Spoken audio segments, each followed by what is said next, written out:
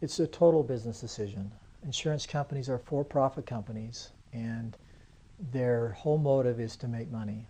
And so they, they, they spend billions of dollars on advertising, saying that the good neighbor, you're in good hands, or you know, we're there when you need us type of thing. But the reality is they are not your friend. They are not there to help you. They're there to minimize or deny what you're entitled to.